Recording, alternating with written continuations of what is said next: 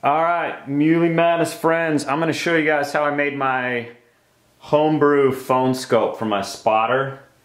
Um, first of all, I use an iPhone, this is an iPhone 5S. So uh, this only works for my iPhone 5. It, will work for a 5 or a 5S. If you have something different, you'll have to figure out uh, your own method, but you can figure it out pretty easy from what I'm going to show you here. So what I first did, um, I kind of cheated a little bit. It's not a complete home brew, even though it'd be easy to uh, make your own case. But what I did is I bought this little HookUpz. I got this online from Adorama.com for $13.79 free shipping. So less than 14 bucks. And this is what it looks like when they send it to you. So that's exactly what you're going to get. Um, and then what I did is I just removed, this fits a bino right here. I didn't care for my binos as much. I wanted it for my spotter.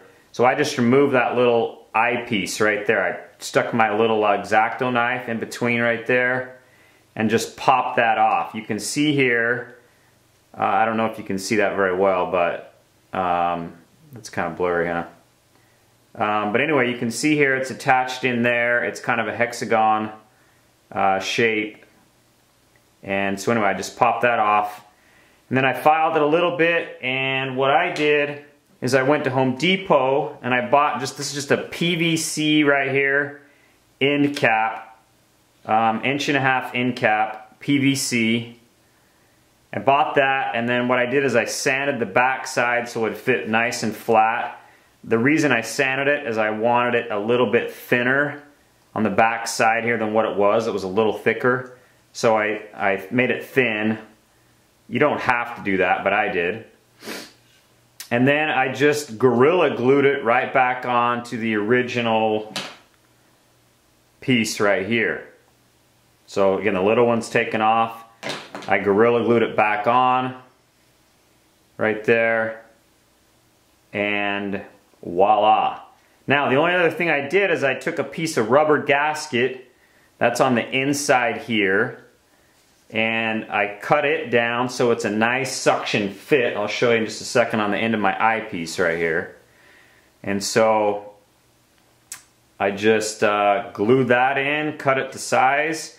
The silver marks are just to mark on my spotter where kind of the sweet spot is, where that's where I want it to fit on how far I want it to go on, and also the right uh, vertical lineup because I always want to shoot my video, video with my phone in the vertical position.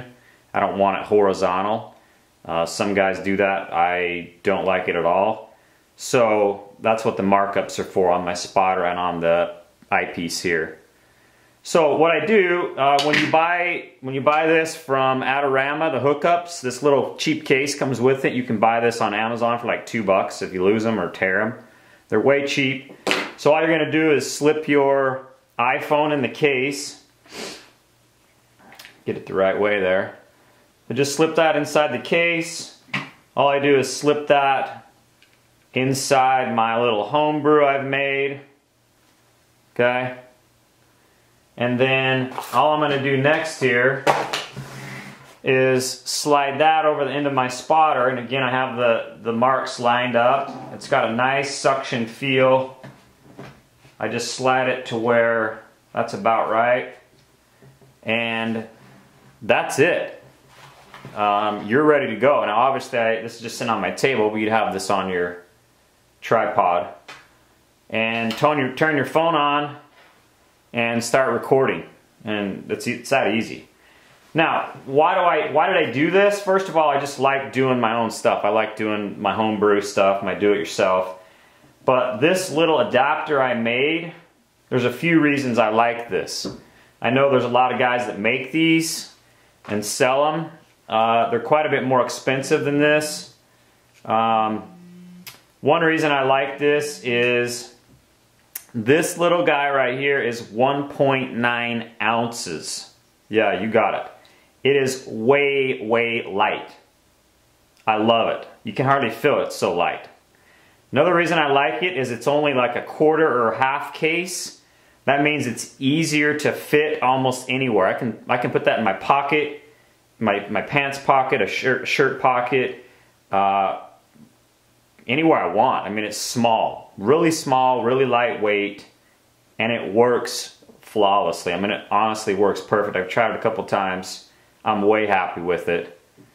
Um, and I just like doing my own thing. So I just wanted to try it, and I was really happy how it turned out.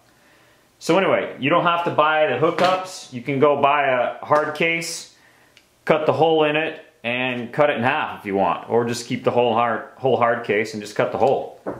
And uh, glue it onto PVC end. Put some rubber in and you're done. Um, one other thing I want to show you here that maybe you guys don't know, I would be, I learned this recently and I, it's way cool. Again, this is just an iPhone, um, but once you've got it on your, on your spotter there, oh, and by the way, once it's on my spotter, I mean, that thing is, it's solid. It's not going anywhere. It is way suctioned on, way tight. Um, very cool, not coming off. Now, here's the cool thing I want to show you. This is your simple uh, headphones, okay, that come with the iPhone. Now, here's the cool part. This is the newer version. I don't know if it's the latest version, but it's got the little volume control, plus and minus right on the headphones with your ear earpieces. So all you have to do is plug that into your phone and check this out. Turn your phone on, and obviously I'm got I don't have I'm not looking at anything, but here's the cool part.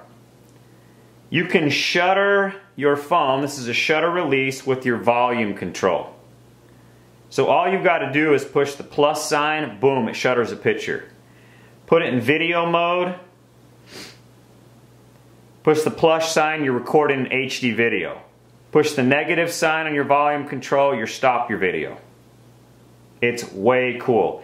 You'll never have trouble with blurry pictures because you're touching your phone with your finger and they don't turn out good.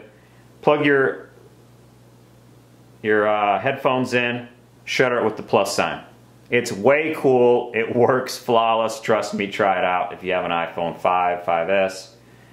Uh, you just need the newer headphone with the plus and minus volume control. So anyway, I hope that all made sense. Um, that's my home brew. I'll, I'll get some videos up online to show you some of the quality stuff I'm getting with it. And if you're interested, check it out. Try one, make try and make one yourself. Over and out.